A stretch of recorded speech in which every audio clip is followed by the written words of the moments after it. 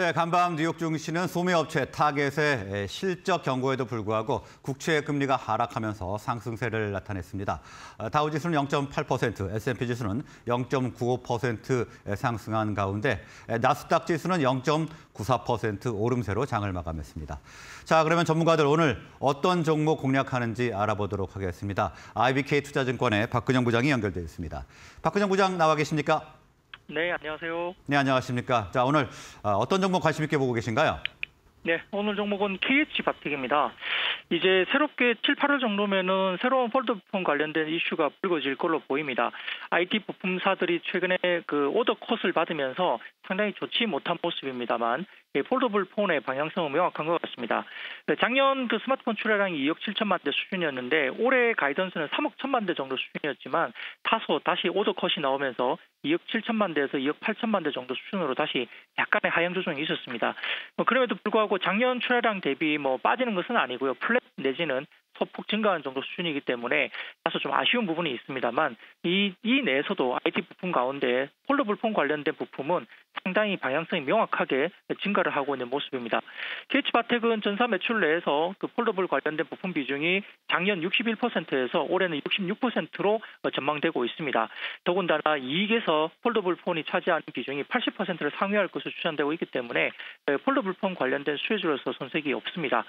올해 매출액은 4,520억 원대, 영업이익은 470억대로 영업이익 단은 전년비 75%나 급증할 것으로 보이는 상황입니다. 일단 점유율 면에서는 상당히 아직도 견고한 점유율이 예상되는데요. 사실 이제 dual vendor나 이런 부분들의 이슈가 있기 때문에 하, 삼성전자 입장에서는 한쪽으로만 그 수주를 주지 않습니다. 여기에 따라 뭐 힌지 부분을 하고 있는 에스코넥이라든지 UIL, 파인테크닉스, 서진 시스템과 같은 다양한 기업들이 이러한 그 dual 어 그 그 관련된 매출, 그러니까 이원화 자리를 넘어왔는데요. 이러한 부분에서도 충분히 KH바텍이 경쟁력에서 우위가 명확한 상황이고 마켓시어가 그렇게 빠지지 않고 있습니다. 하반기에도 힌지 기반의 실적 급반등이 유력하다는 이유가 여기에 따라 어, 견고한 점유율에 따라 이송되고 있다고 볼 수 있겠고요. 점유율이 추가로 상승하지 않더라도 일단 물량 자체가 워낙 커지고 있기 때문에 어, 실적에 대한 부분들은 급성장이 가능합니다. 왜냐하면 어, 실적 부분은 올해 폴더블폰 관련해서 1,300만 대 정도가 예상이 됐지만 1,600만 대에서 1,800만 대까지 지금 추정치가 올라오고 있고요. 내년 같은 경우는 3,600만 대까지 출하량 증가가 예상되고 있기 때문에 내년까지의 급성장은 충분히 있는 스토리가 될 수 있습니다. 또한 일각에서 우려하고 있는 싱글인지 채택인데요.